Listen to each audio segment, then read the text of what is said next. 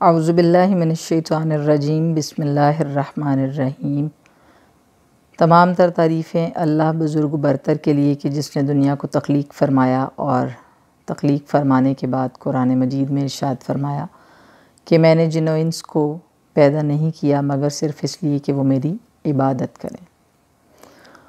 और नबी करीम सल्लल्लाहु अलैहि वसल्लम की ज़ात मुबारक पर लाखों करोड़ों दुरूद सलाम कि जिनको अल्लाह ताला ने रहमतुल आलमीन फ़रमाया, जिनको अल्लाह ताला ने मुजम्मिल मुदसर मुबशर सिराजुम मुनीर व ताहिर और मुज़क्र कह के पुकारा। ये वो मुबारक नाम है जो अल्लाह ताला ने हमारे नबी करीम सल्लल्लाहु अलैहि वसल्लम के लिए कुरान मजीद में इरशाद फरमाया। अब आ जाते हैं आज के टॉपिक की तरफ़। जैसा कि मैंने अपनी वीडियो की इब्तदा में कहा कि अल्लाह ताला ने इंसान को और जन्नात को तख्लीक फ़रमाया तो उसके तख्लीक फ़रमाने का मकसद भी बताया कि इनको तख्लीक फ़रमाने का मकसद है इबादत। हम समझते हैं कि इबादत क्या है। आम तौर पे समझा जाता है कि नमाज़ पढ़ना इबादत है, रोज़ा रखना इबादत है, ज़क़़त अदा करना एक माली इबादत है और इसी तरह से और भी हमारी जितनी चीज़ों को इबादत के ज़ुमरे में लाया जाता है, उसमें यही चीज़ गर्दानी जाती है कि आप मुसल्ला बिछा के बैठ गए हैं, आपने नमाज़ पढ़ी। नो डाउट ये इबादत करने का एक ख़ास तरीका है। लेकिन इस्लाम इतना प्यारा दीन है कि अल्लाह ताला ने इस दीन को अपनाने वालों के लिए हर नेकी का काम हर सुन्नत नबवी की पैरवी को वही दर्जा दिया जो इबादत करने के बाद सवाब मिलने का होता है। अगर आप किसी से खुश अखलाक़ी से पेश आएँगे तो भी आपके लिए नेकियाँ लिखी जाएँगी। आप अल्लाह ताला की राह में किसी की मदद करेंगे, नेक नियति के साथ किसी से अच्छा कलाम करेंगे, किसी को कोई अच्छा मशवरा देंगे उसके लिए डिसीज़न मेकिंग आसान करेंगे। इवन कि आप अपनी छत के नीचे बैठे बैठे किसी की मदद करने की सिर्फ़ नीयत करेंगे। उसके लिए फ़िक्रमंद होंगे, कोई सोच अपने जहन में पालेंगे। तो अल्लाह ताला उसको भी अपने हाँ नहायत मकबूल फरमाएगा कि मेरा एक बंदा मेरे दूसरे बंदे के लिए फ़िक्रमंद है दुआ गो है उसके लिए कोई अच्छी प्लानिंग अपने जहन में तैयार कर रहा है कि अगर मेरे पास फ़लाँ चीज़ होती तो मैं उसके लिए ऐसा कुछ करता। तो किसी के लिए जस्ट इतना सोच लेना कि I wish I could do ये बहुत बड़ी बात है। क्योंकि तौफीक नेकी को करने की अल्लाह ताला ही अनायत फरमाते हैं, पर इंसान की नीयत होनी चाहिए। और अल्लाह ताला नीयतों को देखते हुए इंसान के लिए रास्ते कुशादा फरमाता है। अब एक इंसान की अगर नीयत ही नहीं होगी तो ये कैसे पॉसिबल है कि मंजिल की तरफ़ आगे जाने के लिए उसके रास्ते खोल दिए जाएँ? अगर वो खुले हुए मिल भी जाएँगे तो उनमें आजमाइश मौजूद होगी।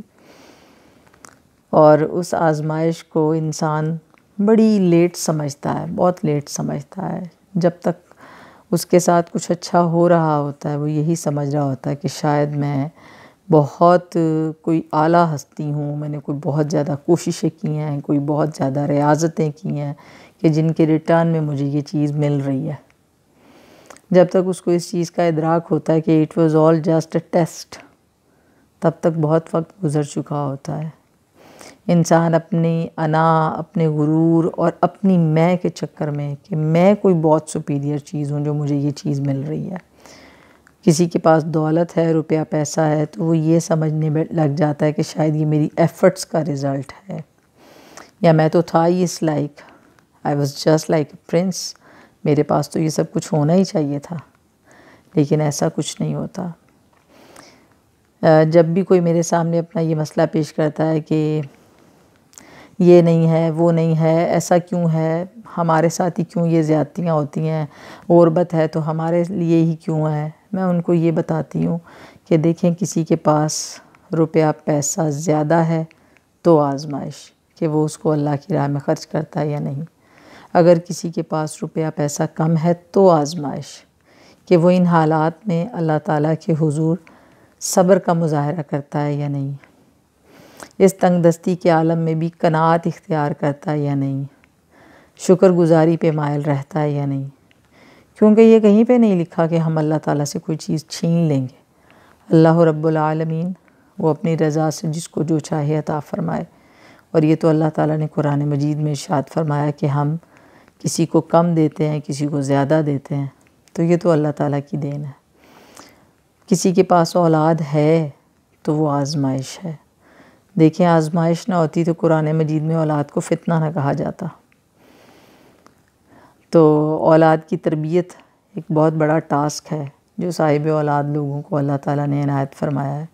अगर, और अगर किसी के पास औलाद नहीं है तो ये भी एक आजमाइश है। देखना चाहता है अल्लाह कि मैंने उसे इतनी बड़ी ज़िम्मेदारी से आज़ाद रखा हुआ है। वो मेरे लिए क्या कर रहा है? अपने उस टाइम को मेरे लिए स्पेंड कर रहा है या नहीं? और दुनिया में जो दूसरे बच्चे हैं, जिनमें यतीम बच्चे शामिल हैं, मिसकीन बच्चे शामिल हैं, ज़रूरतमंद बच्चे शामिल हैं, वो उनके लिए कुछ कर रहा है या नहीं? और आपने देखा होगा अक्सर अवकात एक इंसान जब दूसरों के लिए कुछ करता है तो अल्लाह ताला उसके लिए बहुत कुछ कर रहे होते हैं। उसको बस फील करने की ज़रूरत होती है। तो अपनी फीलिंग्स के दरवाज़ों को खोल के रखा करें।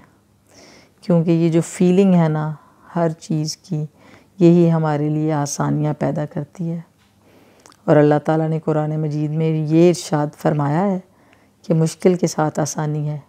ये कहीं नहीं लिखा हुआ कि आसानी के साथ मुश्किल है। लेकिन बंदा क्या करता है कि जब उस पर मुश्किल आती है तो वो अपनी मुश्किल में उछलने लगता है कि मेरे नाल है क्यों हो गया? मैं डिज़र्व नहीं सी करदा इंज नहीं सी होना चाहिए लेकिन उसको ये नहीं पता होता कि मैं थोड़ा सा तदब्बर और तहमुल से काम लूँ तो इस परेशानी, इस तकलीफ़ के साथ जुड़ी हुई आसानी भी मुझे मिलेगी। और वो मिल रही होती है। वो तो अल्लाह ताला ने एक ऑटोमेटिक सिस्टम बना दिया है कि उसर के साथ यूसर जुड़ा है। यानी डिफ़िकल्टी के साथ ईजीनेस है। बस बंदे को ये जो बसारत है ना, इससे वो आसानी नज़र नहीं आती। उस आसानी को देखने के लिए बसारत की नहीं बसीरत की ज़रूरत होती है। तो हमें अल्लाह ताला से दुआ करनी चाहिए कि वो हमें बसारत तो देता है, लेकिन उसके साथ साथ हमें बसीरत भी अता फ़रमाए।